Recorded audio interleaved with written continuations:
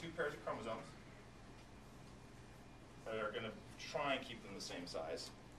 So we'll do one in blue, then we'll do one set in green. And this will be the same cell that we start off with each way. We'll split it off going one di- direction that way and one direction this way. For now, we'll go off in this direction, Oops. doing it as mitosis. Because really, here's the thing with mitosis. Once you see the key, like the tweak, the change between the two, you go, oh, that's how it is. And that's when I was in school, we had to memorize it, and basically the teacher just said, uh, meiosis is mitosis twice, and to go just split it twice. But it always got, I got confused. And if I would have known about this one part in my mind, maybe it was that I put pieces of the puzzle together later. If I would have known this, I think it would have made a little bit more sense. Maybe I just wasn't paying attention when she taught it. Okay. So here's the thing. I'm going to label this one right here. This is going to be a number one chromosome, and we'll say this is the one I got from dad. This is the other number one chromosome because you get two pairs, and they say two pairs, or sorry, you have 23 pairs. This reason they say pairs is because they're homologous chromosomes. So this is the other number one, but this is the one I got from mom. All right, and we can say the same thing with this. This is we'll be only using two pairs. We'll say this is a number two from dad, and this is the number two for mom.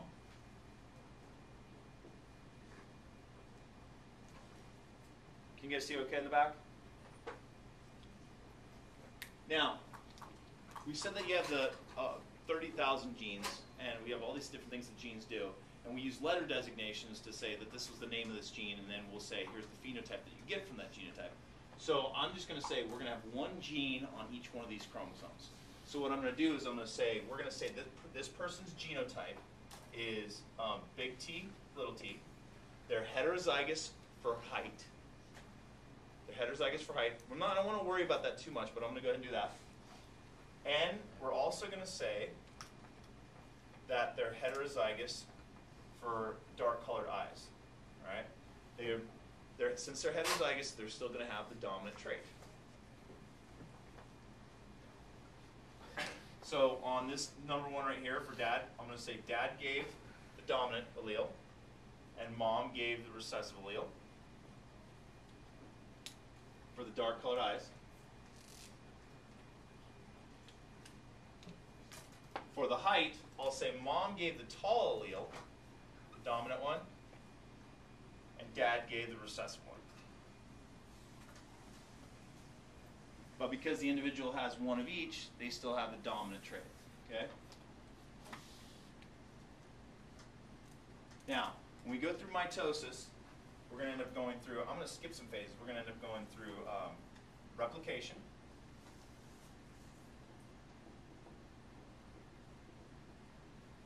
We're going to end up going through um, prophase, where everything thickens up, and we don't have time, and we don't, we shouldn't need to go over each one of these steps. And then we're going to work our way all the way till metaphase.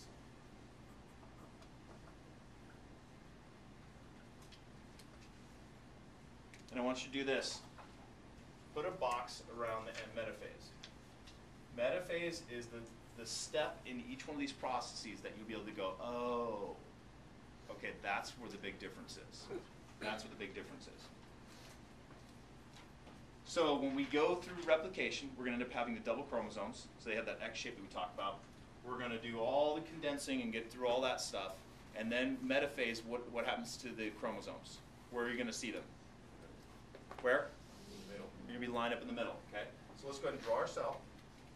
Make it big enough that you can fit them all in. In fact, I'm going to make this a little bit bigger. And if you're not sure, wait a second, okay?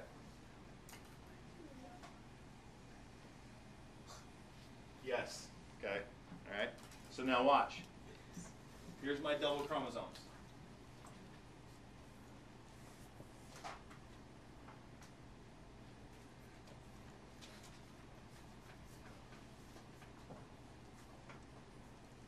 I have the, I have the number twos on top.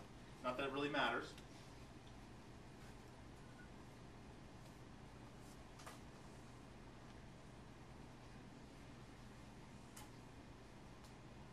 Number one's in the bottom.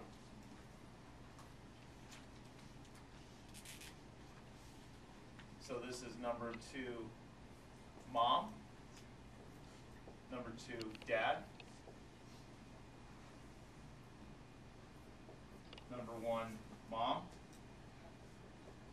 Number one, dad.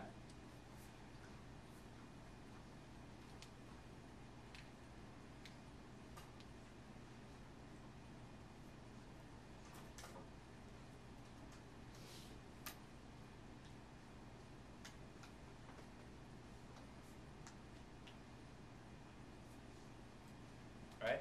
So now on the number twos that you got from mom, mom gave the tall allele. So I'm going to squeeze it in here. Big T, big T on both of those chromosomes now. Dad gave the, the short allele, so little t and little t on both of these. On the number one, dad gave the dominant allele, so I'm going to squeeze the big D right here and the big D right there on both chromosomes and mom gave the recessive light eyed allele. So it's going to be on both of those.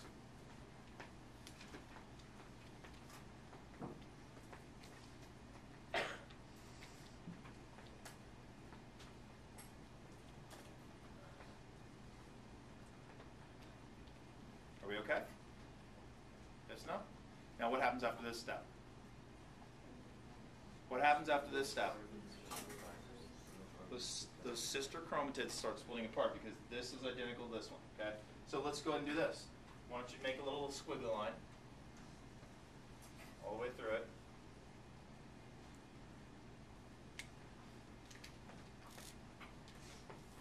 We'll make an arrow over here and we'll say anaphase because we're going to split up. And then we're going to end up going through telophase. They're going to separate. Everything's going to come back together again.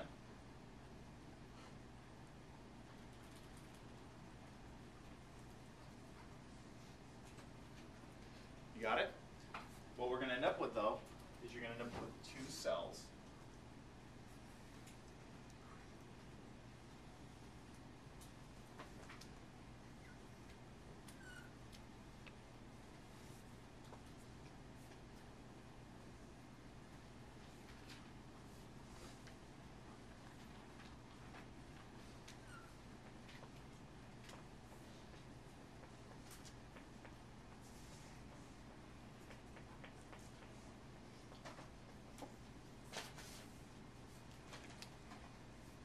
Two cells have four chromosomes each. Little d there, d there, big D here, D there, little t here, little t here, big T here, big T here.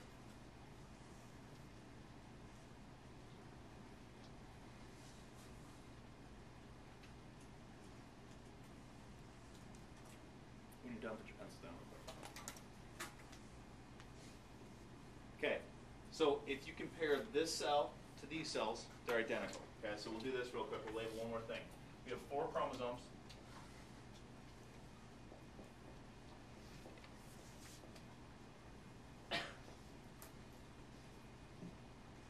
Over here now you have two new cells equals four chromosomes each. I'll get the box out.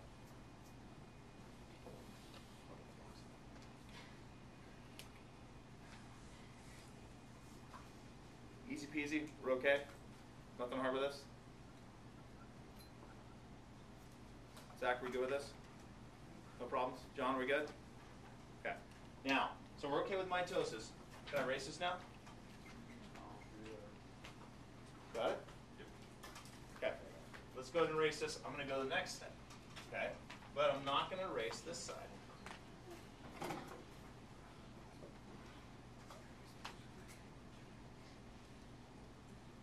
So it's mitosis twice with meiosis basically because the, the reason they said it is because you have two separate cell divisions, okay? And it actually goes to this. There's like what they call you have prophase one, metaphase one, anaphase one, and then it ends up going to prophase two, metaphase two, anaphase two, and so forth. Okay. So I'm going to start out with the same building product, and for you guys, you can do the arrow down. I'm just gonna go straight out, and we're gonna go through meiosis.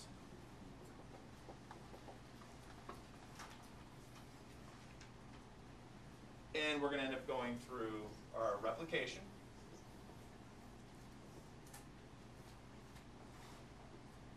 Prophase. And this is where the goofiness happens. I'm gonna make myself a cell again. But it actually doesn't need to be that big, because you'll see what ends up happening. I used to have this activity that they would have them do with where it says pair up the homologs. And I'd say go and go ahead and put them together, place them in order, do all that other stuff. And this is the hardest part for them to get. They're like, what?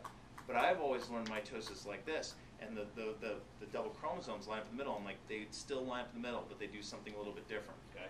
So we're gonna go ahead and put the, the homologs. Don't draw this yet. Double chromosomes. But instead of lining up in the middle, they pair up side by side.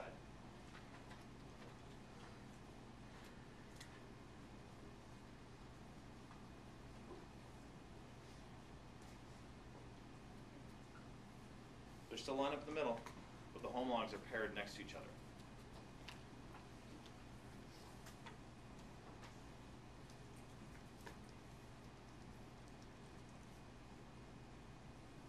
Don't draw any letters, don't do anything like that. Just go with this. In fact, we can do, well, this is number one, sorry, number two, number two, number one, number one. You can leave it like that.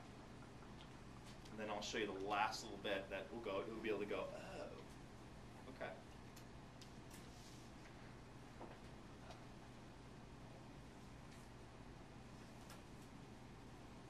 You ready?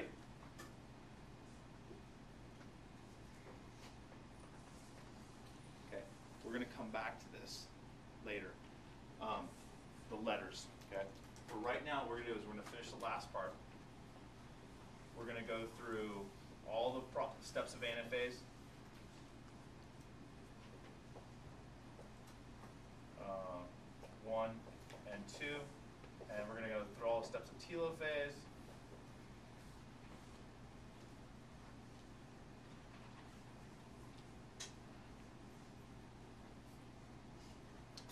But I want you to think about one other thing. Before, when you drew the little line through here, we're gonna draw, you would draw the line through here also, but when it goes to the next batch, they split up, they split up one more time. So let's go ahead and do this, just really lightly. We're gonna go, make a line that goes like this.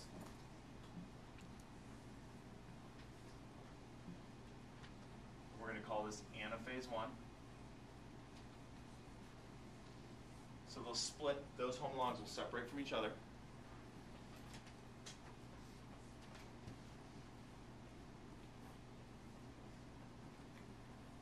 Then I want to do one more thing. I want to draw another set of lines because these guys, sister chromatids, are also going to split when they do one other separation. They'll separate away from each other first, and then the sister chromatids will separate. I'm going to put a little bracket on the bottom. And this will be from, where this is anaphase one up here, anaphase one, this will be anaphase two. Put your pencils down.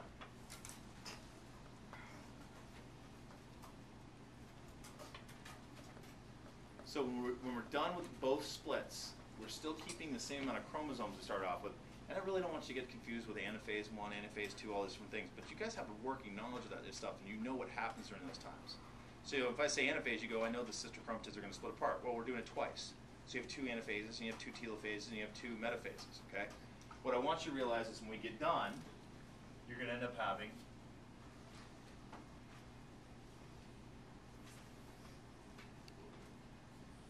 Exactly. You're gonna end up having four cells. Because we get two splits, you're gonna have not only half the number of chromosomes, but you're gonna have four cells.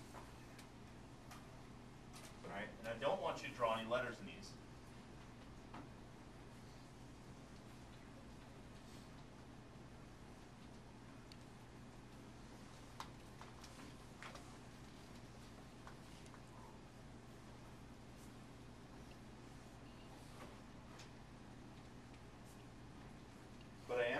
Put number one, number two, number one, number two next to each one, okay? Two, two, two, two, one, one, one, and number one.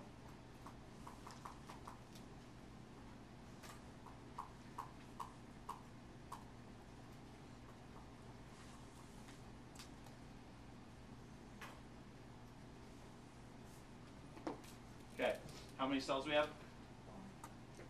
How many? Okay, I want you to write this down. These are, this only, listen, this only happens in cells in your gonads, okay?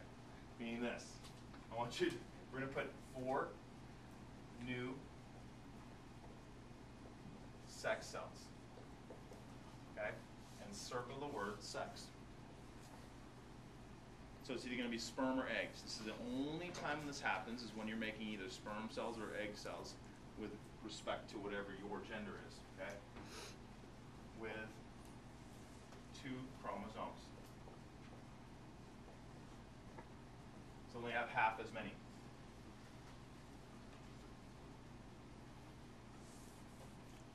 Last thing, you ready?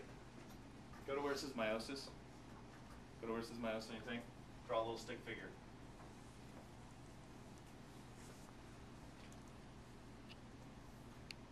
It's just kind of childish, but hopefully it will help it stick in your head. Okay? The only place where meiosis happens, right there. Okay? Are we alright with that? Tyler, can you? Tyler's like. Alright? Check and check. Alright? I told you not to draw letters because we're going to come back to that a little bit later. Alright? Go ahead and take out, you can stop recording. Take out that packet that you have.